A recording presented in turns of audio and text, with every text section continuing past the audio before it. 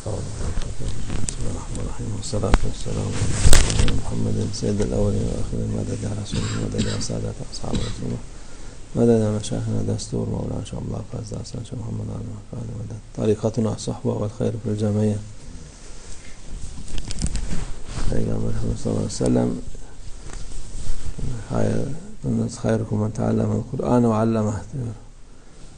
Kur'an'ı öğrenip öğreten en hayırlınız, en iyiliğiniz diyor.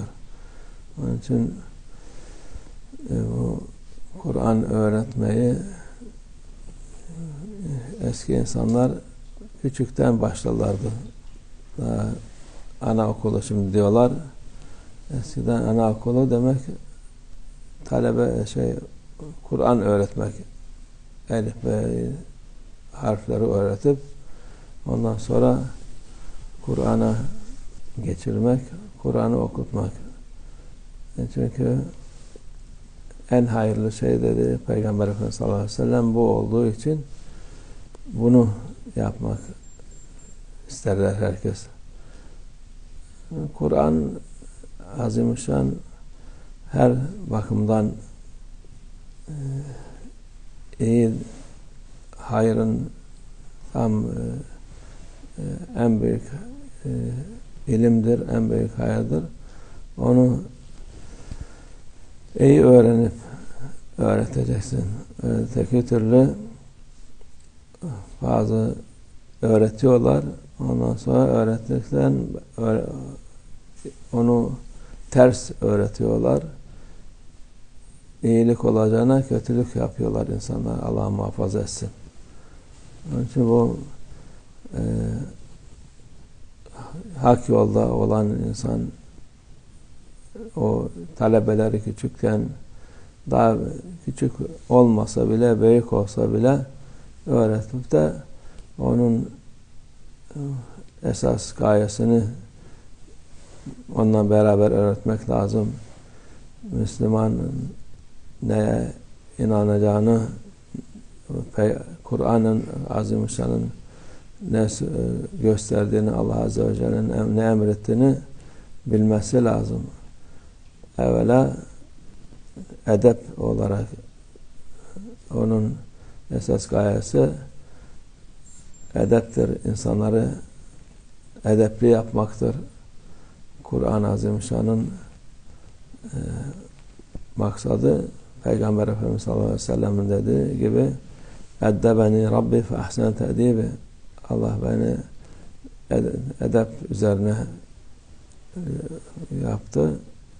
Edebim de en iyi edep budur.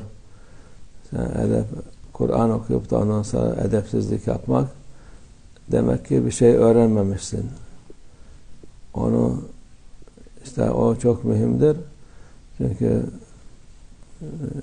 şeytan da bütün Kur'an'ı da bilir, Tevrat'ta bilir, İncil'i de Zebur'u da bilir, her şeyi bilir ama şey edep olmadığı için Allah'a karşı geldi, emirleri yapmadı, bir fayda etmedi. Şimdi çok var bu tip insanlar.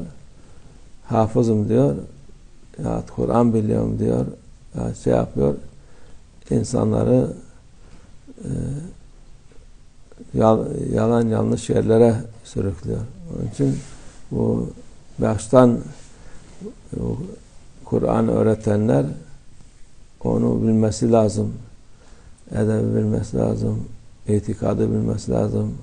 Ne yapmasını, nasıl iyilik olacağını bilmesi lazım ki fayda etsin. Öteki türlü e, Kur'an onlara o ters şey yapanlara lanet eder. Allah muhafaza etsin. Allah e, hayırlı ilimler, Kur'an'ın ilmini de güzel öğretenlerden eylesin. İnşallah niyetimiz odur. O Allah rızası için gelenler çok. Bu güzel ilmi öğrensinler diye gelenler çok. Allah onların da e, zihinlerini açsın. E, hem Kur'an öğrensinler hem Kur'an'ın güzelliğini taşısınlar. Başkalarına da öğretsinler inşallah. Ve minallah tevfik. El Fatiha.